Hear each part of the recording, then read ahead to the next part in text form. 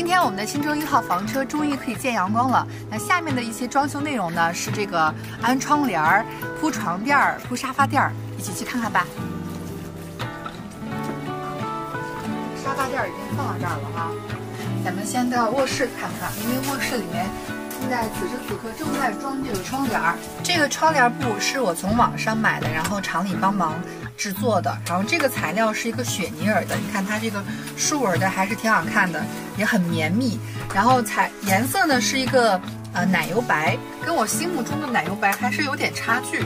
这样看感觉因为它不有点绿，这绝对不是奶油白了，除非我色盲。说实话，我放下来和肉眼看啊，还是有点区别的这个颜色。这个床垫已经铺好了，而且它这个床垫好处吧，咱们它不是一整块儿。它是分成三块的，这样你就可以从中间，比如说只打开一块，然后取中间的东西，嗯，这样也不会破坏整个那个床品。一米八六躺在这个床上是什么效果？我可以完全捋直了，这样睡没问题，是吧？碰不着。就是你这样躺着特别没有美感。是吗？我以为是那种很英俊潇洒的感觉呢，像个小肉虫。现在我们要安装我们客厅的电视了。是不是还有点偏左呀？行，就这个位置啊，定了。今天有一个大工程是解决我这个升降电视的问题。那这个升降电视呢，我做的是可钉可铆的。然后我们现在遇到一个难题啊，就是这个板子，这个板子它应该是用一个荷叶把它翻起来，在电视上升的时候。但是如果它在我现在在的这个位置，呃，那么就会卡到这个电视的上升支柱。所以就需要它在翻折起来之后，在翻折起来之后，能够到这个台面上。那这样的话，就要用到一种特制的合页。现在我们要安装这个电视的合页啊，因为空间比较小，所以我们的解决方案就是把床板掀起来，然后师傅从这个床底下进去，您躺进去，这样往上打眼儿好好打了。这边是我的水箱，这水箱也是有一个小心机啊，就是。一定要能单独加水，就除了车外给它加水很方便，有一些够不着水管的地儿，我可以打开这儿，去给我的水箱加水，包括清洁。是不是躺里面还行吗？啊，行了行了，这行啊，这这儿还行，就就这样做行。马上也可以看到它最终的效果了。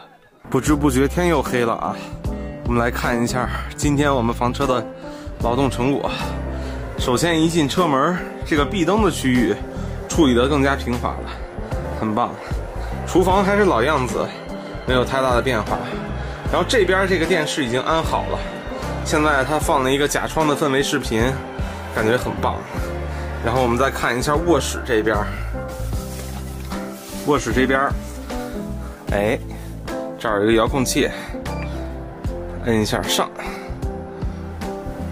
嘿，这个上的速度虽然有点慢，但是很丝滑。很高大上，有没有？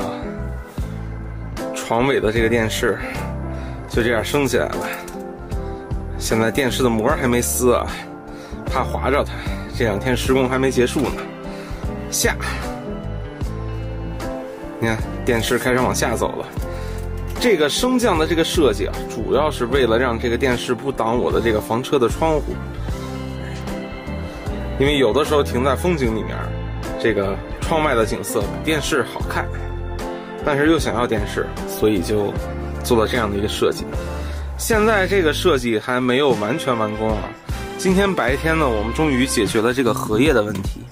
它这个板子翻起来以后是可以落在这个板子上的，但是也不能说完全呃完美吧，因为我本身设想的是这个电视升起来的时候会自动把这个板子顶起来，但是因为我的这个空间。